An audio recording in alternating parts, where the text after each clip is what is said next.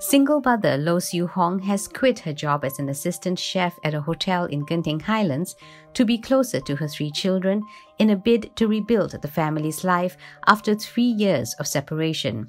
Loh, her twin daughters 14 and son 10 were reunited last month after the Kuala Lumpur High Court granted her habeas corpus application to recover the custody of the children who were converted to Islam by their father without Loh's permission.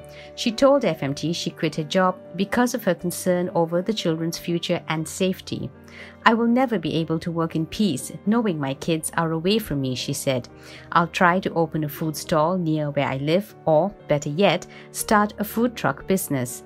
It will be flexible and I can keep a closer watch on my kids. She said a political party had offered her the opportunity to open a stall at a college canteen in Hulu Klang, Selangor, but she has concerns about the viability of setting up shop there. I feel that a food truck would be better, as I will get to sell meals in different areas, she said. Some of the people who offered to help me said they would try to get me a food truck. Loh said she was grateful that so many people had offered to help her rebuild her family's life. Among those who are helping her is Yayasan Chow Kit founder Hartini Zainuddin, who has started a fundraiser online.